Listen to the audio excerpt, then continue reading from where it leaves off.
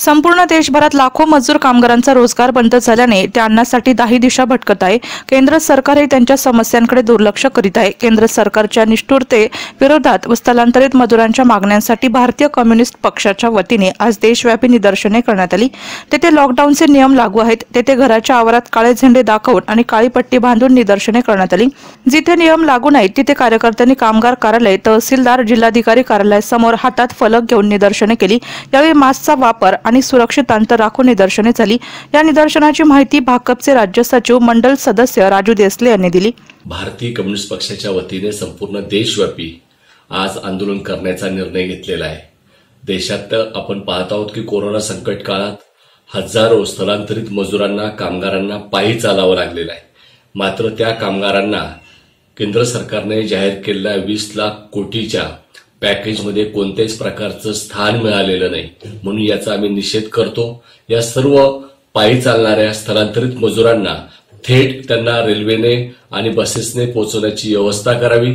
त्यांना दहा हजार रुपयाची मदत ही त्वरित करावी ही आज आमची प्रमुख मागणी आहे. त्याचप्रमाणे आपण पाहत आहोत की या देशामध्ये शेतकरी अडचणीत आहेत. शेतकऱ्यांना स्वतंत्र पॅकेज हे जाहीर झालं पाहिजे. आत्ता झालेल्या जाहीर झालेल्या पॅकेजमध्ये फक्त कर्जाच्या घोषणा आहेत.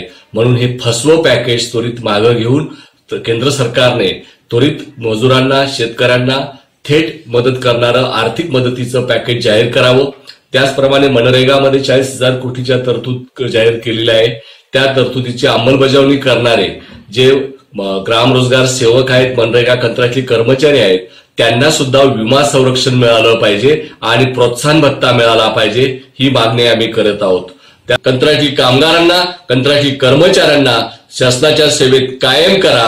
विली कामगारांना सुद्धा तेलंगणाच्या धर्तीवरती दोन हजार सोळा रुपये दरमहा त्यांना अनुदान दिलं पाहिजे आणि विली कामगार व्यवसाय सुद्धा अडचणीत आलेला आहे त्यांना सुद्धा मदत केली पाहिजे. म्हणून शेतकरी कामगार असंघटित कामगार यांच्या प्रश्नांकडे लक्ष वेधण्याकरता भारतीय कम्युनिस्ट पक्षाने आज देशभर आंदोलन पुकारलेलं आहे आणि केंद्र सरकारला आम्ही जागं करण्याचा प्रयत्न करत आहोत. जर याची दखल घेतली नाही तर आम्ही येणाऱ्या काळात रस्त्यावरती उतरून आंदोलन करू असा इशारा भारतीय कम्युनिस्ट पक्षाच्या वतीने आज आम्ही देत आहोत. भाकपच्या शिष्टमंडळाने याबाबतचे निवेदन जिल्हाधिकारी सूरज मांढरे यांना दिले.